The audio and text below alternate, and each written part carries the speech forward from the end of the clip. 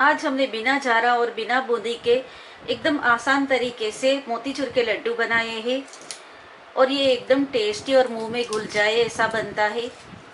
तो रेसिपी की शुरुआत करने से पहले वीडियो आपको पसंद आए तो इसे लाइक करें शेयर करें और मेरे चैनल को सब्सक्राइब करना ना भूलें। बेल आइकन को क्लिक करें ताकि आने वाले वीडियो के नोटिफिकेशन आपको मिलती रहे।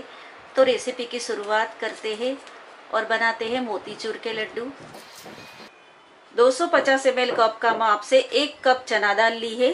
ये 200 ग्राम चना दाल है। इसे मैंने दो से तीन बार पानी से धो लिया था और तीन घंटे के लिए पानी में भिगो के रखा है। अभी हम इसे दो बार पानी से धो लेते हैं और पानी निकाल लेते हैं। चना दाल को धो के एक स्ट्रेनर में निकाल दिया है ताकि इसका पानी जो है वो सारा निकल जाए। मिक्सर का छोटा जार लिया है। इसमें थोड़ी थोड़ी दाल डाल के क्रश कर लेते हैं। इसे हमें एकदम कोर्सली क्रश करना है। पल्स बटन दबा के इसे रुक रुक के चलाएँगे।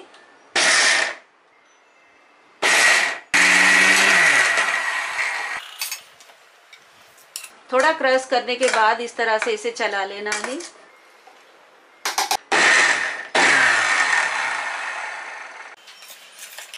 इस तरह से इसे ग्राइंड करेंगे तो ये रफली ग्राइंड होगी। और इसमें कोई भी चना दाल साबुत रह गई हो, इसे हमें निकाल लेना है। दाल में दो से तीन टेबलस्पून पानी डाल के इसे ग्राइंड कर दिया है। इस तरह से इसे एकदम रफली ही ग्राइंड करना है। इसे फ्राई करने के लिए घी या तेल किसी का भी इस्तेमाल करना है। मैंने यहाँ पे घी को गर्म करने के लिए रख दिया है। घी में इसे फ्राई करेंगे तो इसका टेस्ट अच्छा आएगा और ये ज़्यादा दिन तक टिकेंगे। इस तरह से थोड़ा थोड़ा हाथ में लेना है और गरम घी में इसे छोड़ देना है। घी में डालते टाइम फ्लेम को थोड़ी धीमी कर देना है। मीडियम फ्लेम पे इसे फ्राई करना है। एक मिनट के बाद इसे पलट लेना है।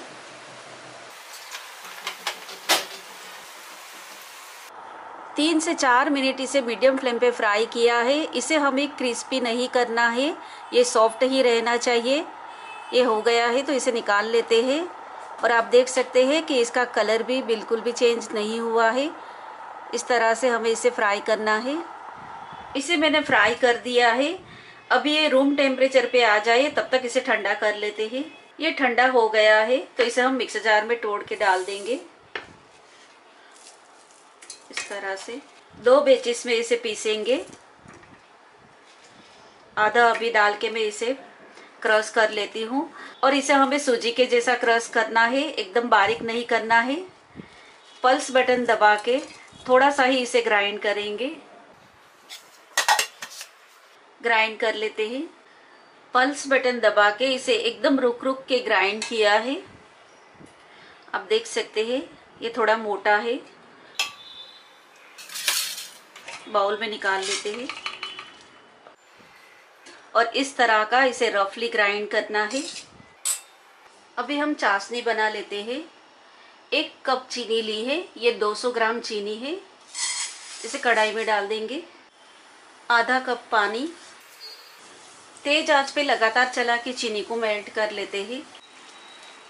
चीनी मेल्ट हो गई है, गैस की फ्लेम मीडियम कर लेंगे और मीडियम फ्लेम पे इसे एक तार की चाशनी होने तक पकाएँगे। मीडियम फ्लेम पे पाँच मिनट चाशनी को मैंने बॉईल किया है। अभी हम गैस की फ्लेम धीमी कर लेंगे और इसे चेक कर लेते हैं। इसे थोड़ा ठंडा करेंगे, इसके बाद इसे चेक करना है। तब तक हम गैस की फ्लेम बंद कर देते हैं। चाशनी थोड़ी ठंडी हो गई है तो इसे हम चेक कर लेते हैं। आप देख सकते हैं, एक तार बन रहा है। गैस की फ्लेम मैंने चालू कर दी है। धीमी आँच रखना है। आधी टीस्पून इलायची पाउडर डालेंगे। एक चौथाई teaspoon food colour orange colour मैंने डाला है। मिक्स कर लेते हैं। मैंने यहाँ पे लिक्विड ऑरेंज फ़ूड कलर लिया है।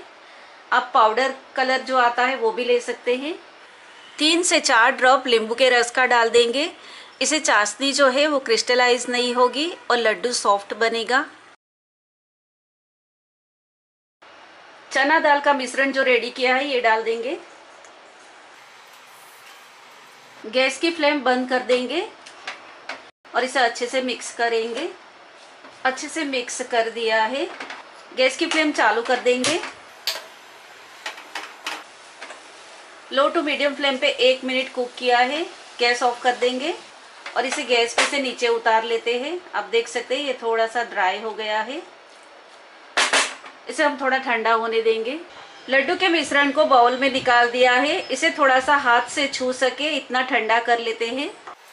तड़का पैन में एक टेबलस्पून घी डालेंगे। दस काजू का एक का दो पीस किया है। ये डाल के इसे थोड़ा सा फ्राई कर लेते हैं।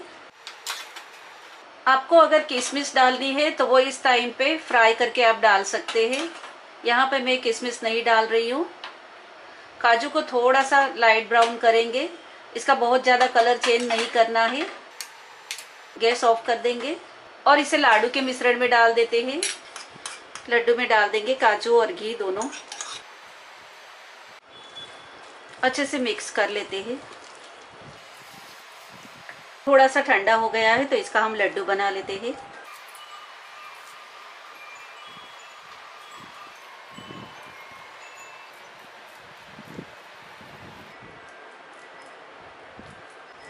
इस तरह से सभी लड्डू रेडी कर लेते हैं। मोतीचूर लड्डू रेडी है, ये बहुत ही टेस्टी बना है। आप इसे एक बार ज़रूर ट्राई करें। रेसिपी आपको कैसी लगी है, मुझे कमेंट बॉक्स में लिख के ज़रूर बताइए। तो मिलते हैं अगले और एक नए वीडियो के साथ।